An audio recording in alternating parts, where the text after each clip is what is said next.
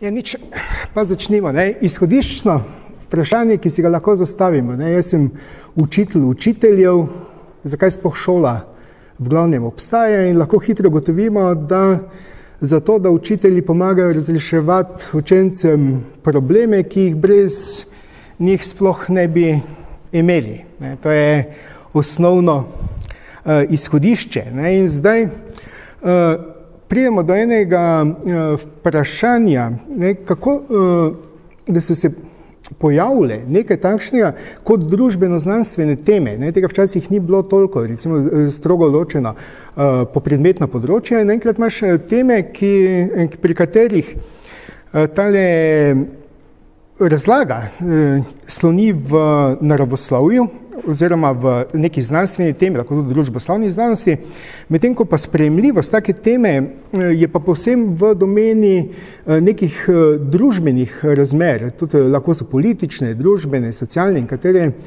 koli, kot so takšne teme, recimo okoljske teme, potem biotehnologija, zdravje in podobno. Ne. Torej, če mi zdaj pogledamo, živimo v svetu, ne, za katerega vemo, da se zelo hitro spreminja v, v nekaterih eh, delih na boljše, nekje na slabše. In tukaj vidimo eh, na tej sliki mejo med Dominikansko republiko in Haitijem. Stališča zim, biologa, ekologa, lahko hitro ugotovimo, da tukaj nekih velikih razlik, ki bi jih lahko pripisali nekim naravnim dejavnikom, ni. Očitno je tukaj edini Eh, dejavnik, ki je vplival eh, na to eh, človek, ne, kaj je zdaj pripeljalo v Haitijo do enega tipa rabe, v Dominikanski republiki pa do drugega tipa rabe, rabe drugo vprašanje. Nedvomno to ni nekaj, na kar bi lahko našli odgovor v klasični ekologiji, naprimer. Naslednja zadeva je to, ne, da imajo ljudje številne zelo napačne Eh, predstave o eh, svetu, v katerem eh, bivajo. In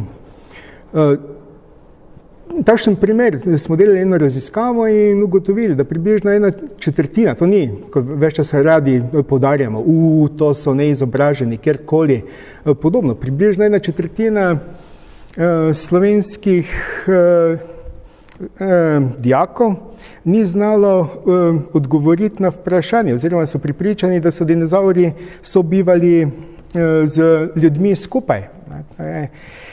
Naslednje, če pogledamo, kritična ali pa sposobnost kritične presoje ni nujno želja vseh v tej družbi. Recimo, to je idealen primer, atlantitski prstan, pošljajo tega po pošti, 45 evrov. Uh, varujete pred vsem. Jaz sploh ne vem, recimo, zakaj modra država, kot je takš, naša, ne pokloni vsakemu enega takega prstana 45 krat 2 milijona, za 90 milijonov evrov smo rešili kompletno uh, vse. Mi ne rabimo niti več uh, mobitela. Poglejte, krepite telepatske sposobnosti. Mi se samo pogovorimo uh, med sabo. Ne? Imamo v trenutku uh, rešen uh, problem in uh, mimo grede, ne, um, meni je bilo všeč, nekdo je napačno prebral to navodilo e, in piše prstan, ki prinaša dolgo življenje in so ga našli v grobnici faraona Tutakamona. Živel 18 let, mislim, ne želim, če ga je v Ramzem so toliko boljše, 98. No, um, naslednja zadeva, ne, pogledajte te napovedi, kje bomo mi živeli čez pet let, deset let. Poglejte, 43. Menim, da je na svetovnem tržišču prostor za morda pet računalnikov. Jaz jih imam zdaj v bajti več. No, ni prav nobenega razloga, zakaj bi si nekdo želel imeti računalnik doma. Če ga otroku ne bi kupil, potem eh, bi spadal kot neprilagojen starš. Ne samo, da si ga želim. Ne. In pa 640 kilobajtov bi moralo biti dovolj za kogarkoli. 640 kilobajtov ima zdaj moj hladilnik ali pa likalnik. Toliko približno, ne, moče še celo več. No, gledajte, to sliko. Maribor v prihodnosti. E, e, ta razglednica je šla ob um, enem borčnikovem srečanju, mislim, da 86. leta, bil sem tam, mislim, to je prihodnost, takrat, ko smo si predstavljali, izgledala drugače. To je recimo nekje izpred prve svetovne vojne. Ampak pogledajte, podobna razglednica obstaja za bled, sicer je nimam. To je tudi zanimiva. Tam je pa v zraku avionov kot mušic, ampak čisto vsi so dvokrilci. Kaj pomeni? Ne? Na osnovi današnjih predstav si poskušamo uh, predstavljati uh, prihodnost. No, uh, naslednja takšna zadeva, pogledajte, informacijska komunikacijska tehnologija, računalniki imajo svoje mesto v šolskem sistemu in seveda jih lahko zelo dobro uporabimo med predavanji. To je recimo en takšen tipičen uh, primer slike od zade, kaj se dogaja med predavanji. Bistvo, ne, uh, počasi bo nekdo prišel k pameti in bo rekel, da so med predavanji prepovedani.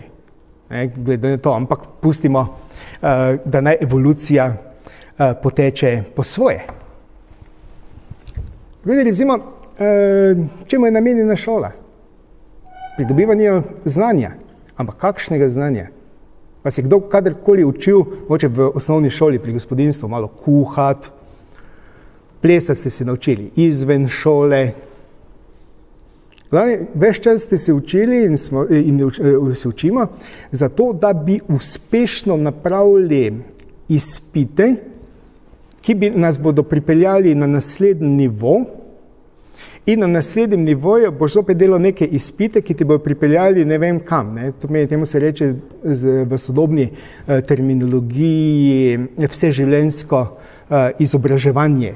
Uh, ampak dejstvo, ne, če pogledamo, no, zdaj pa pridemo tudi to, ne, šolski sistem, takšen, ko je, živi v popolnoma paralelnem vesolju. Zato, ker delam, živim v obeh uh, svetovih, sem trdo pripričan v to, sicer imam še nekaj drugih uh, razlogov, zakaj verjamem v paralelna vesolja. Recimo eh, postavim neko stvar, dam, ker natančno vem in je ni. In potem čez nekaj časa prijem, pa tam je, ne, vmes je pa nisem našel, to me druge razlage ni. Ampak poglejmo primer harmoničnega nihanja, ne, fizika.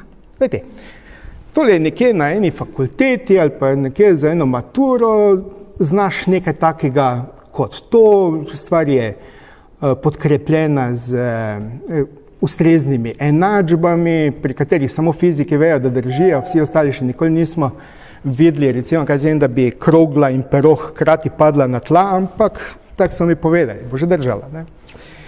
No, naslednja stvar, to prikažemo na takšen način, vzamemo nek model, vzamemo uh, animacijo.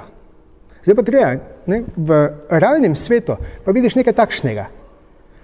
Ne, Zdaj, seveda, imamo tri različne prikaze iste stvari. Zdaj, moram reči, da, da zadnjega še nikoli nisem videl, da bi s tem v šoli uh, začeli. Tako kot v šoli nobena mama doslej še običajno, vse mi vse vemo, zakaj moraš jesti, ne? da dobiš materijo, pa da dobiš energijo. Ne? In potem ti mama reče, papu, papu, boš veliki pa močen zrastel, ne? lasnosti živega rasti. Je kdaj mama rekla, papu, papu, da se boš lahko razmnoževal? Ni. Ne? Ampak v biologiji delamo tudi to. Ne? In vedi, zdaj, ko prihajaš iz tega v izobraževalno sfero, naenkrat se z, ljudje ugotovijo, da to ni nujno ravno tisto, kar bi bilo nujno ali pa dobro ali pa ne bo rekel pametno vedeti v življenju. In zdaj eh, eh, sedanji trendi eh, so približno to, ne, da bi naj bi razvijali kritično razmije, eh, razmišljanje in strategije za raz, eh, reševanje problemov. Fino, mislim, kdo se ne bi strinjal s tem, sposobnost za sodelovanje v mrežah in vodenje z vplivom, torej pomeni, da lasten vpliv, da eh, se naučiš voditi. Ta agilnost oziroma eh, prilagodljivost, sposobnost za zdajanje pobud in podjetnost, recimo, učinkovita ustna in pisna komunikacija, neoporečna In pa recimo znanje ne samo za dostop, tudi presoja informacij. In pa seveda radovednost in e, domišljija. Naenkrat prijemo do enih e, zanimivih zadev, v kaj naj bi se usmerilo poučevanje. Odlično. Ne? In, ampak prijemo do ene ključne točke e, v razvoju kritičnega mišljenja.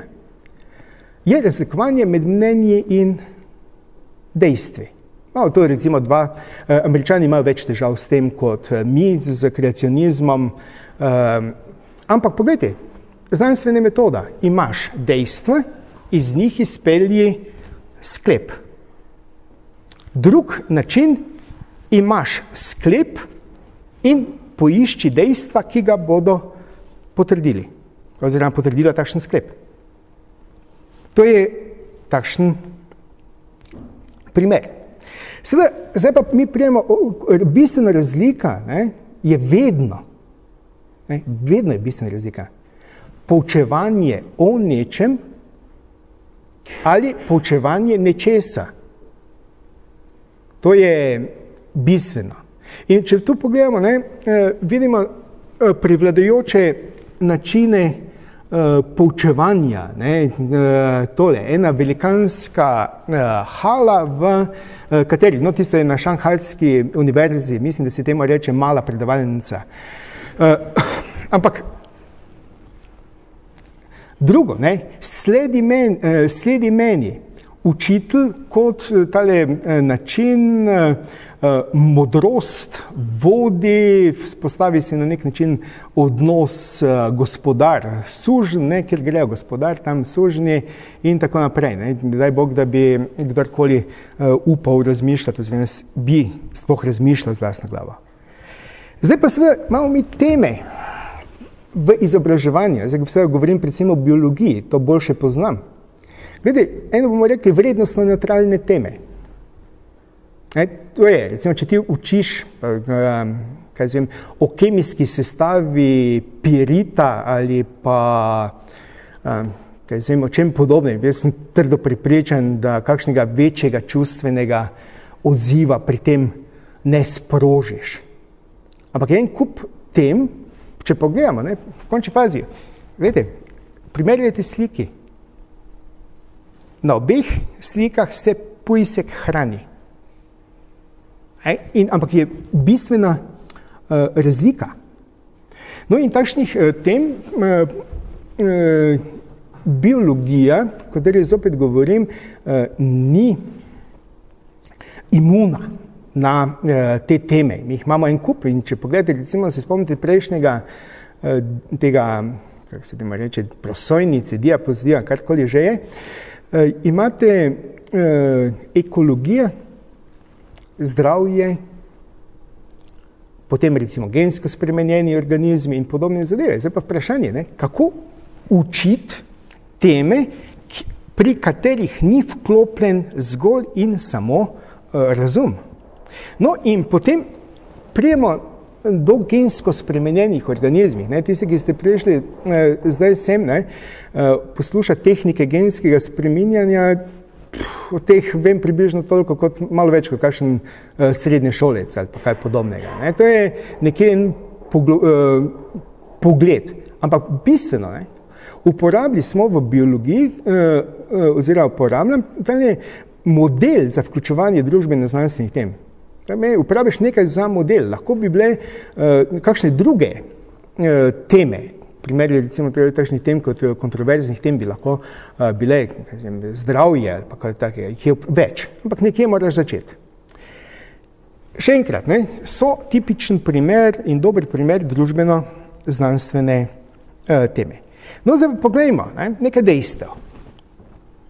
Ampak zopet, ne, to je v tem trenutku nekje, to je iz leta 2010, to so cifre so v uh, Eh, milijonih eh, hektarjev, eh, na svetu razširjenost gensko spremenjenih polščin.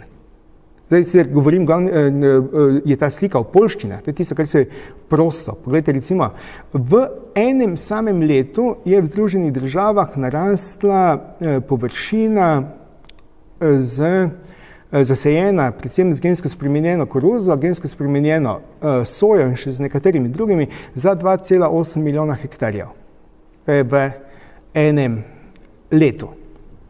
Zdaj seveda, gledajte, če pogledate, kako so te stvari razporejene po svetu in če izhajamo iz te zadeve, da so informacije praktično, ki jih imajo vsi ti ljudje, identične, ampak nekje rastejo, druge ne, potem mora biti ozadje, zakaj nekje rastejo, nekje nek drug razlog. Lahko je seveda razlog, recimo kaj zem, da v Kanadi ne raste papaja in pa verjetno na Havajih eh, ne eh, gojijo rži, ampak eh, v primerljivem klimatskem pasu. No, v glavnem, če gledamo zdaj kakšne so spoh predstave o gensko spremenjenih organizmih pri ljudeh. Mi smo delali nekaj, tam je bilo nekaj uh, raziskav. Zadeva, no, jaz bom rekel, ljudje nimajo pojma, kaj to je. Ne? Imajo mnenje, ampak nimajo pojma, kaj to je. Torej, imajo zelo zanimive predstave. Glede, uh, kaj je najpomembnejši vir predstav o kloniranju. To. Mini mi, Jurski park, kjer je komar napičil nekega dinozaura in potem uh, so uh, sklonirali iz tiste krvi ven in tisti komar je bil prekrasna zadeva. On je moral živeti približno 30 milijonov let, da je napikal tam nekje ne vem koliko vrst, ker v Jurskem parku je mislim, da razpon eh, vrsta okrog 30 milijonov let, ki nastopajo uh, skupaj. Ne, mislim, moram reči, ti se komarja bi jaz smel in iskal tisti gen za dolgoživost. Ta je verjetno boljša uh, zadeva. Ampak naslednje, ne? Ampak zavedanje, da biotehnologija spoh ni nekaj novega. Sploh nič novega. Primer, recimo, eh, peka kruha je tipičen primer biotehnologije. Nič drugega. Zaradi tega, ker po definiciji je biotehnologija nekaj, kar uporablja živa bitja ali njihove produkte, da iz surovin napravi nekaj koristnega. Pivo, biotehnologija, sir, biotehnologija in en kup enih takih stvari, ki niso nič drugega, kot uporaba nečesa, da napraviš nekaj drugega. Mi ogrede tale, eh, če se sprašujete, kaj je tista črna zadeva, to je, eh, to je ožgan kruh iz Pompejev. Ne, to je, tako se približno. Ampak pogledajte, primer, vse sorte, ki danes naseljujejo eh, te kulturne sorte, so imeli enkrat divjega prednika. Pa primerjajte levo pa desno sliko. Uh, Brigel, starejši, tam nekje umre 1569. Poglejte tole sliko, to, poglejte, kako veli, visoka je pšenica. Kot ljudje. Poglejte na desno, sicer za njih človeške primerjave, ampak to velja pira za staro sorto pšenice nekje v 19. stoletju, ko se uveljavi eh, tale eh, močnejše gnojenje in podobne zadeve, eh, začnejo selekcionirati na nižje sorte. No, naslednja zadeva. Vse pasme živali so gensko spremenjeni predniki, nič drugega. Vokovi na levo in njihovi sorodniki na desno. Je na kakšen način? Edini način je bil, gre za čisto običajno selekcijo nekaterih uh, lastnosti. Je v nekaj rekel, seveda, o, krasno, ne, dobro, smo za to, trsničarstvo. In ni nič drugega kot kloniranje. Kadarkoli cepiš drevo, je to kloniranje kadarkoli s potakjencem razsadiš pelargonije, je to kloniranje. Po definiciji lahko rečemo tudi vegetativno razmnoževanje, ampak ni nič drugega. In če pogledamo, te zadeve so znane tisočletja. Naslednje, rastline, vzgojene iz tkivnih kultur, to je recimo, kaj zem, predsednik Tirk odpira Ocean Orchids, vsi smo ponosni na njih in uh, smo jim hvaležni, ker smo prišli do poceni daril za 8. marec eh, in, uh, ali kaj podobnega. Vs, čisto vsaka rastlina tam noter je iz tkivne kulture. Je kot tehnologija, lahko rečemo, zdaj upam, da nisem zdaj sprožil, ne vem nečesa, da bo zdaj recimo nekdaj, kaj zdaj začel protestirati proti, eh, pred njimi, ne, ampak eh, dejstvo, takšne kulture, teh tkivnih kultur, to je nič drugega. Naslednje, humane tkivne eh, kulture, to je recimo tale zgodba nesmrtno življenje Henriette Lacks, naprimer, to je njene celice ne, neprecenljiva zadeva pri študiju eh, biologije oziroma eh, z, eh, razvoju zdravil. Ja, mimo grede, eh, koliko je takih tukaj, ki bi želeli zaslužiti 10 milijonov dolarjev? Je kakšen taki, ki ni? Ste tu, ne? No, eh, zelo lahko. Ena od ameriških zvezdnih držav ima razpisano nagrado 10 milijonov dolarjev za tistega, ki bo razvil tkivno eh, eh, kulturo, v kateri, kateri se bo, bo nastajalo meso za ceno eh, piščanca. Naenkrat, torej, zdaj nekdo reče, e, se smo proti temu, kakorkoli. Ampak dejstvo ne odpade, pri taki tkivni kulturi odpade en etičen uh, pomislek. Ni je treba klat. Ne? No, naslednja eh, zadeva, kloniranje živali je dejstvo, ne? to je doli, ne? da vidite, po kom je dobila uh, ime, doli uh, Parton, uh, dobila je pa ime doli potem, ker so za kloniranje uporabili celi, celico iz vimena. Ne? Če pogledate desno sliko, vam otegne stvar postati malo uh, bolj razumljiva, odkot ime doli. No, uh, Zdaj, inzulin, ki ga vzamemo. Ja, e, ocena. 438 milijonov diabetikov bo v letu 2030. E, populacija e, se stara, e, sladkorja v hrani je vedno več, stil življenja se e, spreminja. Ves praktično, razen moče, kje še kakšen ostanek v kakšnem muzeju, ves inzulin je pridobljen iz uh, ešerišje uh, koli. Razposli zdaj. Vredo. No, uh, kaj? No in cel Italij je iz ešerišje.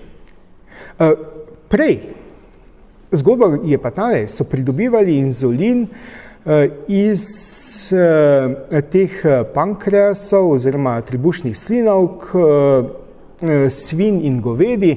To je bila velikanska industrija, ki je bila vezana na klavnice, recimo v Chicago, in tako, eh, kjer so potem eh, pridobivali to zadevo. Težava, ki je bila, je seveda, da je rahlo drugačen kot human inzulin. No, podobna zgodba z, s človeškim rastnim hormonom, čisto ves je iz Eh, pridobljen iz ešerišje koli, težave, ki so bile z rasnim hormonom, pridobivali so ga iz uh, tele uh, hipofize mrtvih. In se je težava, ki se je pojavila, je bilo, ker so poleg tega hipofize, hipofiznega hormona so potem prenašali še Kreuzfeld, Jakobusovo bolezni in še en drug en kup uh, zadev. No, v glavnem, to je uh, zdaj stanje, uh, da zdravila praktično se kjerkoli. No, en moj kolega že pred leti, moče se še kdo med vami učil o rženih rožičkih, Stvar je, lahko rečemo, pa se zaradi tega, ker praktično ves tale redrgin oziroma tele substance so pridobljene iz ciljev kvasok. Naslednje. Hm. Pred ne vem koliko leti nekaj takih je žal pokojni Jobs in uh, Bill Gates in tako naprej so uh, iz uh, tele generacije garažnih računalnikov. V tem trenutku uh, nastaja generacija garažne biotehnologije, kot se temu reče, obstaja stran do it yourself biotechnology, Eh, in tukaj je eh, približno eh, cena, koliko potrebujete za opremo biotehnološkega laboratorija. MIT, Institute of Technology, je za študente razpisal seminar v nekem letu, kako za tisoč dolarjev opremiti biotehnološki laboratorij in to gre sicer za rabljeno opremo, ampak da se ga celo za manj opremiti in ljudje sedaj doma delajo. Imajo sicer nekaj težav zaradi tega, kaj se reče, akta v bioterorizmu in zelo dobro pazijo, kaj delajo, da jih ne bi slučajno kdo obtožil, da razvijajo tele orožje ali pa kaj podobnega. Ne. Ampak drugače pa načeloma gre. Eh, naprej, naslednja zadeva, sintezna biologija na, zasnovana na kombinaciji standardnih delov. Ta je dejstvo. Eh, no, v sintezni biologiji smo eh, slovenci zelo dobri, predvsem na račun zasluge Romana Jerale, ki smo ga tudi lahko poslušali tukaj na teh seminarjih. Gre tale BioBricks Foundation, sestavljaš stvari kot Lego kocke iz sestavnih delov. No, naslednja zadeva, mi grede, mi smo še uh, rahlo daleč od tega. Uh, sintezna biologija za srednje šolce imajo že tekmovanje iz sintezne uh, biologije in sestavljajo uh, plazmide. Trenutno je iz Evrope prijavljena, mislim, da ena uh, ekipa Eh, srednje šolcev, upam, da bo druga ekipa eh, iz Maribora, ampak to še moramo sprožiti, če bomo, eh, ampak to je druga zadeva. Glede, kaj delajo? Ne? Oni, prvo nagrado za lani je, dobil, je dobila ekipa srednje šolcev, ki so zložili skupaj en gen iz kvasovke. Kvasovke imajo gene, ki jim omogočajo neutralizacijo težkih eh, kovin in eh, eh, so zložili tale gen z enim genom, ki se povzroči fluorescenčno barvo in v prisotnosti kadmija se bakterija obarva rožnato. To je recimo en zelo kratek, hit, hiter test, celo zelo Eh, poceni test, eh, ki omogoča recimo ugotavljanje težke, težkih kovin eh, v vodi. No, zdaj pa seveda, hm, zdaj gremo na še eno zadevo, ne? zdaj se vračam malo nazaj od biotehnologije k svojemu področju. Usmerjenost izobraževanja, malo si kdo je ugotovil, da šola, takšna kot je, ne daje rezultatov oziroma znanja, ki bi imelo neko veliko uporabno vrednost. Ja, jo ima, ne, mislim, vsako znanje ima uporabno uh, vrednost, ampak odvisno od konteksta. Ne, to je primer, recimo, ne, v nekem določenem trenutku na bil je milijonar, je bilo vprašanje, kako je ime vijoličastemu telebajsko. To da tisti, ki je uspel to prijeti, to zelo pomembno znanje v določenem uh, trenutku.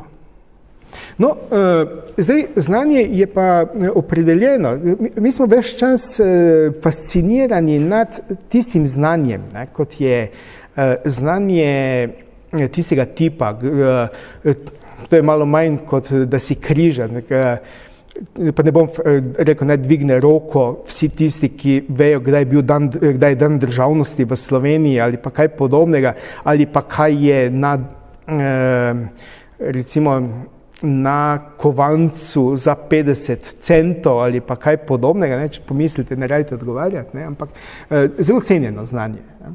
Ampak malo manj spretnosti, da to znanje tudi uporabiš.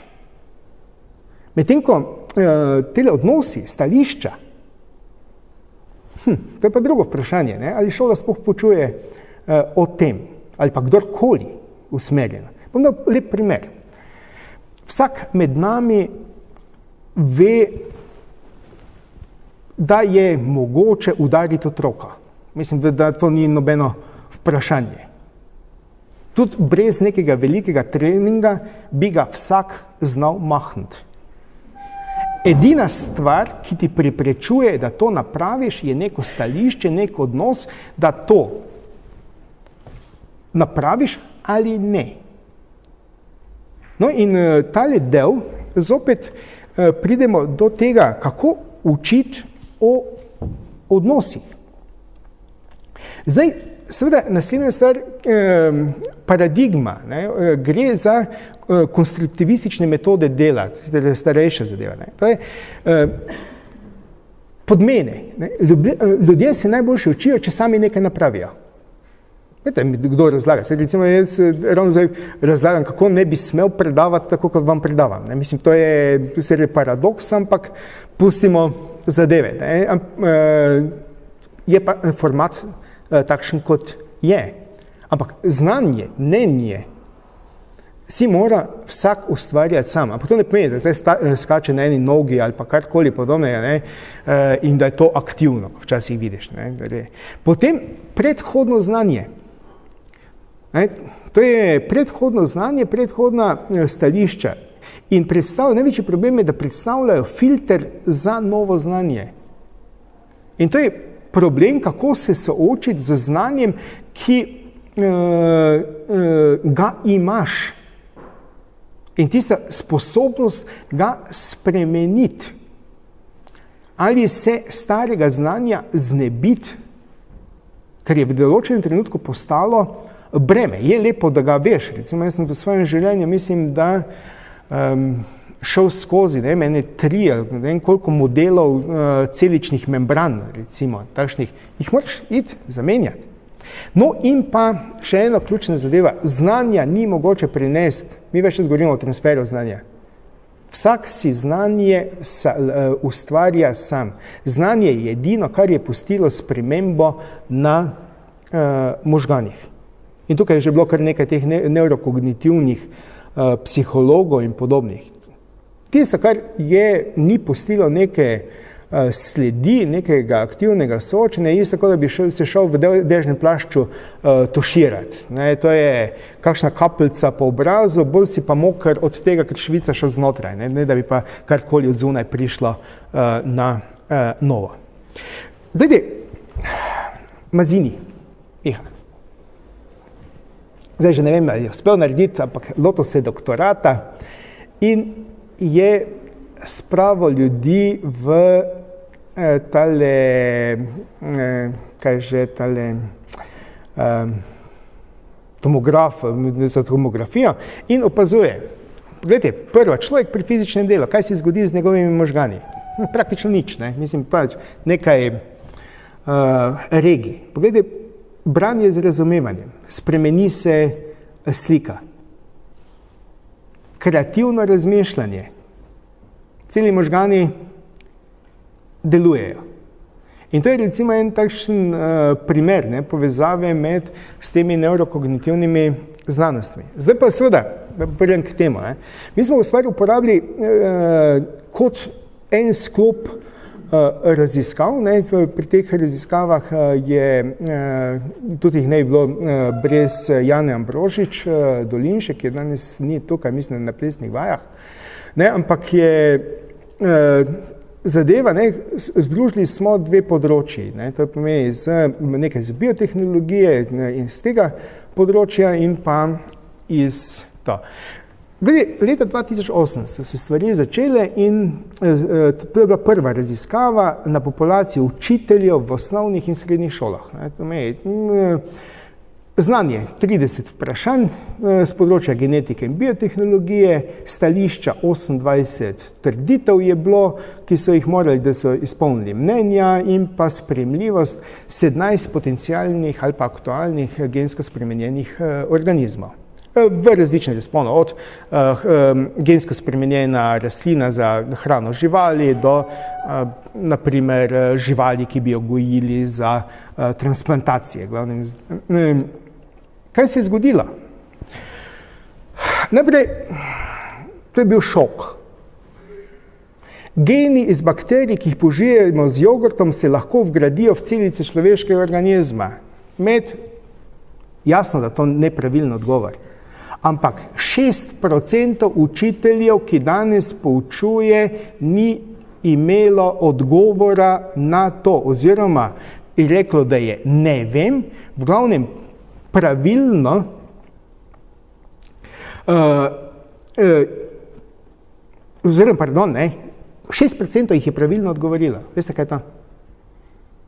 Mislim, spol otroka je odvisen od moških spolnih celic. Tema v osnovni šoli. Eh, v glavnem, vse je dober odgovor, ampak ena četrtina učiteljev tega ne ve.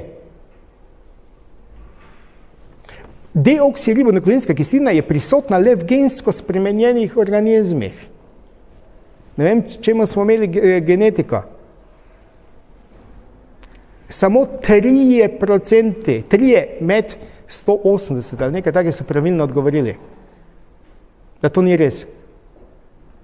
In pa maček lahko plodi zajklo, mladiči pa imajo na to manjša ošesa.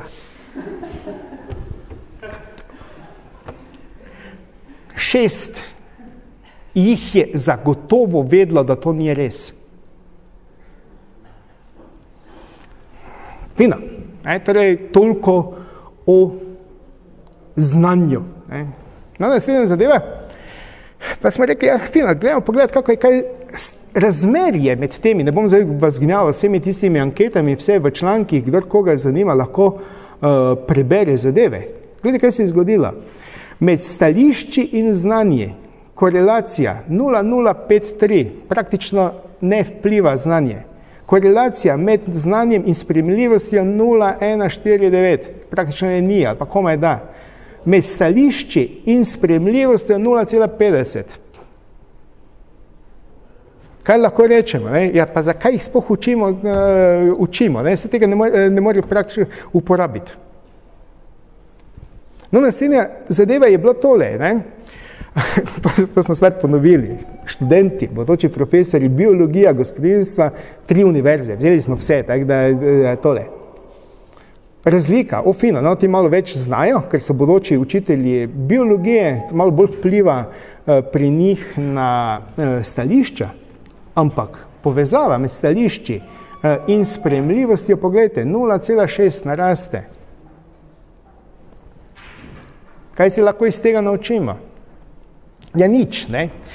Eh, naučimo se lahko eh, drugega, ne? da smo jih vprašali, ali so za vas vsi gensko spremenjeni organizmi enako spremljivi. Zaradi tega, ker raziskave, kot so Eurobarometer, pa slovenske raziskave javnega mnenja, eh, je, mečejo vse gensko spremenjene organizme v isti koš. Ne? Imenujejo gensko spremenjeni organizmi, ali so ali niso. Pa jih poglejmo. Ne? Zdaj, imamo če boste pogledali čisto od spodaj, uh, je en klaster, ena skupina, Momet, Mo, Apple in tako naprej. Ne? Gre za skupino, ki je sprejemljiva, torej za ljudi generalno sprejemljiva. Gre za gensko spremenjene mikroorganizme in pa gensko spremenjene rastline, ki počnejo nekaj koristnega. Recimo, to so rastlina, ki bi uh, proizvajala Eh, ne, neko, gensko, eh, neko substanco ali pa mikroorganizem. Mi ogrede, prej nisem pokazal o tem, da eh, mislim, da ve vsega skupaj en ali dva procenta vseh, da je da čisto vsa cepivo, ki je uh, za obvezno cepljenje proti hepatitisu B je iz gensko spremenjenih um, organizmov. E? Ampak dejstvo, ampak načeloma je to še najbolj spremljivo.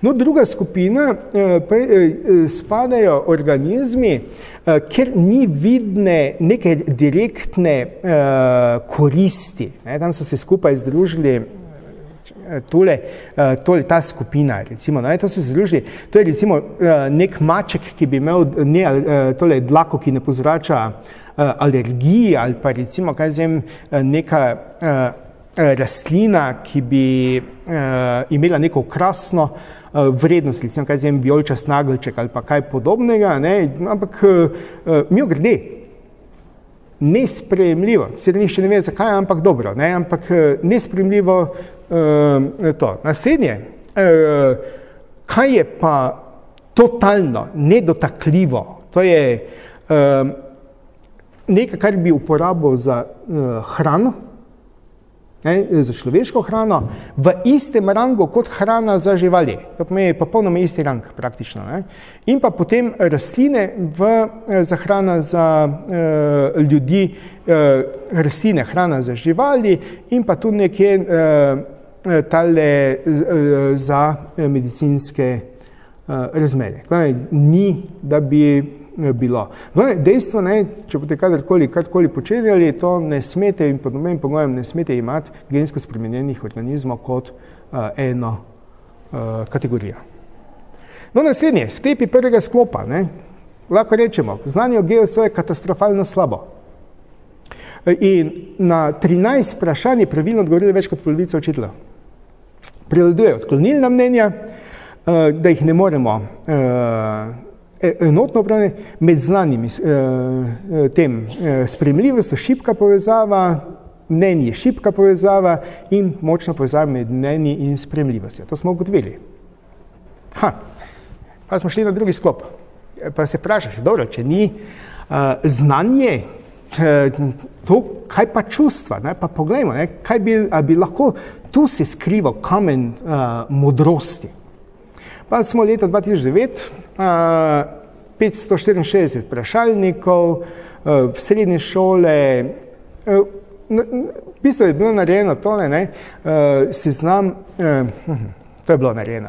Uh, uh, uh, ljudje so bili izpostavljeni uh, neki uh, hipotetični situaciji, kaj zem, ne vede si zaužil obrok, v katerem so žive, uh, živila iz gensko spremenjenih živali, naprimer, ne? kakšen bi bil tvoj uh, odziv in potem uh, so bila izbrana čustva, uh, mi ogrede, ne? to je um, teh teorij, čustev, kaj je, kaj ni, je ogromno, ampak je bila izbrana ena taka serija, ki jo ljudje načeloma uh, razumejo. To je po, en, eh, po Izardu, recimo. Ta. Ljudje so obkrožili, kakšen močen odziv bi stvar sprožila. No, dobro. Gledi, kaj se je naenkrat zgodilo? To je statistika, ko se reče out of the box uh, zadeve. Vsi doslej so iskali v predvidljivem strah, gnus in podobno. In ko dodaš enkrat ostala čustva zraven, ugotoviš, da je najmočnejše izraženo čustvo zanimanje. Razlaga, tudi tisti, ki je proti in tisti, ki je za, se zanima. Eden zaradi tega, da bo stvar zavrnil, drugi, da bo jo zagovarjal. Ni neutralen. Podobno se je izkazalo presenečenje, to je bilo presenečenje, mislim, kot kot, mislim, to je vzameš, slučajno so bili v naboru ne, in enkrat presenečenje. Potem, kot veš, wow, ne, uh, uh, kje si, uh, uh, pogledaj recimo tali visoko vrednost. Vprašanje je bilo, ne, cimer ti je pripeljal domov mačko, ki je gensko spremenjena. Kakšen bi bil tvoj odziv? Uh, stvar bi me zanimala, bil bi presenečen, ostalo pa nič. Wow, kul, cool, dobro. A? No, in medtem ko pa se pa vidi strah, ne, je pa povezan predvsem z živili, da bi nekaj pojedel, potem da bi pred genskim zdravljenjem. Recimo, čeprav jaz mislim, da tudi tu zdravljen katerokoli, da te je malo strah katerega koli uh, zdravljati. Recimo, jaz sem umiral strahu že pred zobozdravnikom, kaj šele pred kako operacijo. Ne? Ampak uh, to je uh, tudi možno tukaj, treba stvari verjetno še dodelati. Ampak kaj je izpadlo? Izpadlo je do tega, ne, da nekatera čustva, recimo izkazalo se je tudi recimo, da nekatere sploh nimajo nobene eh, zveze eh, z eh, čemerkoli. Zdaj, kaj se je pa potem zgodilo? Ne? To je hvala Franciji ne, za ta grafikon. Eh, ampak kaj se je zgodilo? Ne? Eh, če jih mi gledamo, kako se čustva eh, grupirajo. Ne? Na eni strani se grupirajo eh, tale negativna čustva kot sram, eh, potem eh, pre, celo prezir, jeza, in tako naprej. Ne? Na drugo stran pa uh, celotna čustva, kot so uh, veselje, zanimanje, uh, presenečenje. To bi jim lahko rekli pozitivna uh, čustva. To je po eni uh, komponenti, po drugi se pa recimo strah uh, precej uh, izloči. No, ampak kaj se je zgodilo? Sklepi Eh, tega drugega sklopa, ne, da čustvenega odziva ne moremo imati kot enotno skupino, ne, temveč eh, da moramo obravnavati čisto vsak GSO posebej, ne moreš jih imati kot enotno uh, skupino. Naslednje, ne, uh, da sta le zanimanje in presenečenje bili sproženi in pa klasična čustva, na katere uh, je, vse mora biti strah ali pa frankenfuc pa uh, podobne zadeve, uh, da sproža selektivn odziv, torej meni se zelo selektivno sprožja. No, tretji sklop, to je pa ta zadnji, smo pa rekli, dobro, fajn, krasno, kaj pa zdaj z, če čustva niso tisto ta pravo, potem uh, znanje ni tisto, da prav, e, pa pogledajmo, kako je z inteligenco. E? Zdaj pri e, inteligenci, mi ogrede, to je jurski park e, definicij. E, tak, je vsak, ki nima kaj početi, napravi definicijo e, inteligence, ki ima e, trenutno e, paše. Ampak e, je pa e, problem, z uh, temi testi naenkrat prideš izven uh, cone anonimnosti, ker ga ne moreš več anonimno napraviti, ker so stvari povezane med seboj, testi so dolgotrajni, ampak vseeno nam je uspelo napraviti uh, eno takšno serijo, to je, vključili smo še doktorja Javšovca, ki je tudi Eh, predaval, mislim, da je dva meseca nazaj tukaj ali tremi meseci, nekaj takšnega, eh, in pa eh, njegovo ženo in pa mojega mladega doktoranta.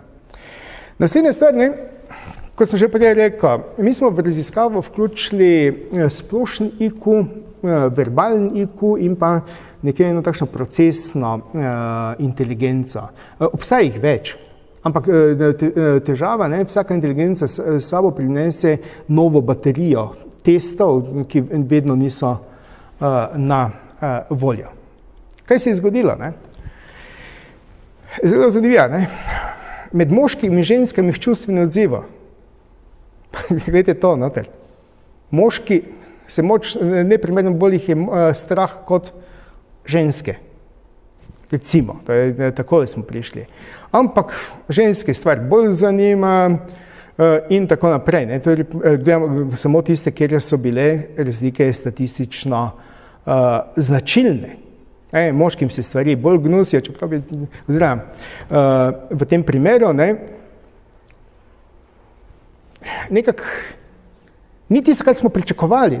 Običajno greš, da postaviš neke hipoteze in potem smo gotovili, da smo ven dobili alternativne hipoteze. Ne? Še dobro, da modrost postavi vedno nulto hipotezo. Ne? To je, ne more, težko zmotiš. No, naslednje, pa smo pa rekli, kakšne so korelacije. Ne? Med moškimi nobene korelacije, mislim, ni, mislim, ja, nobene korelacije pametne. Ženske je pa vrgla tole ven. Uh, bolj kot je pametna, manj se čustveno odziva. E, to je bila ta zadeva. Med spremljivostjo šipka povezava in večja povezava med verbalno, torej verbalno fluentnostjo in pa spremljivostjo gensko spremenjenih eh, organizmov. Ampak glavno pri ženskah stvar obstaja, pri moških eh, pa ni povezave. Dobro.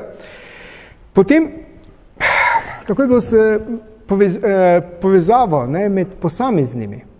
Ja, ampak tu pa nekaj pride ven, da je pa povezava ne? Torej, med strahom, spremljivostjo, jeza, eh, gnusom, žalostjo, celo prezir je ne, tukaj se izkazal, recimo prezir do tistega, ki bi ti dal recimo ponudo gensko spremenjeno zrezek ali kaj podobnega. Ugotovitve, ne? še vedno sta zanimanje in presenečenje najmočnejši uh, čustvi, jeza, strah in gnus, ki najboljše razložijo odklanjanje ženske z višjo inteligenco, boljši sprejemajo GSO. Verjetno razlog za višjo stopno spremljivosti ne, pa je višja stopna strateške čustvene inteligence, torej boljše vladovanje in razumevanje. Ampak tega, to je zdaj hipoteza za uh, naslednjo uh, raziskavo. To je zdaj tisto, čemu rečemo pogled v prihodnost. Ne. Pogled prihodnost je ena velika, kompleksna a, raziskava, v kateri bi povezali a, skupaj več vrst inteligence, kot so a, IQ, a, tale procesni, verbalni, a, čustveni, verjetno tudi praktična inteligenca a, in še kakšno drugo zadevo. Potem Eh, znanje, recimo, eh, eh, potem socioekonomski status, ker tudi ugotavljamo, da utegne imeti neko vlogo in pa še vključitev drugih družbeno-znanstvenih tem. To pomeni ne samo tega, čemer se reče GSO. Ne. Ker največ, kaj ugotavljam, ne, to je prihodnost, ni odvisna samo od znanja, ne, da, ampak temveč od sposobnosti, da se znebimo predsotka. Če pogledate, recimo to je iz prvega out of the box eh, seminarja, nanogradnje. Nanogradnje vsebujejo vsaj tri uh, z, uh, tehnologije. Eno je, so nanotehnologije, ki otegnejo biti uh, uh, na nek način sporne, uh, uh, vsebujejo uh, genski uh, inženiring v teh uh, noter in tako naprej. To meni, uh, Uh, vprašanje, ne, izpostavljeno je bilo, ne, da je osnovna težava tehnološka, tehnična, nimamo še stvari. Jaz mislim, da je večji uh, problem tukaj, kako najti en prostor, v katerem lahko to uh, napraviš izven, recimo, uh, v, znotraj Evropske unije. V kakem Pakistanu, Braziliji ali karkoli ne bi bilo težav. Naslednje, Naslednja težava, ne? možgani, rej, če rečemo. Po, naši možgani namreč niso namenjeni iskanju resnice, e? ampak v bistvu namenjeni so, da ko se enkrat nekaj odločiš, da poiščeš prvi dober, pameten razlog, da si zadovoljen, da si se prav odločil. Prosim.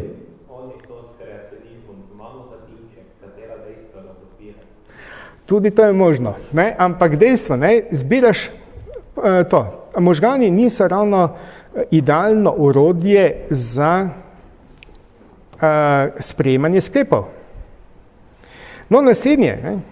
če, bistri, ne? če hočemo, pa da v šolah smiselno počujemo, potem ne more potekati brez vključevanja ali vsaj razumevanja vrednot, čustev in podobnega zadeva. Mi smo recimo že šolo postili precej vrednostno neutralno, kar je seveda po eni strani prav, po drugi strani eh, pa zopet ne, ne govorimo o, samo o učenju ničesa, ampak vsaj informacija o nečem.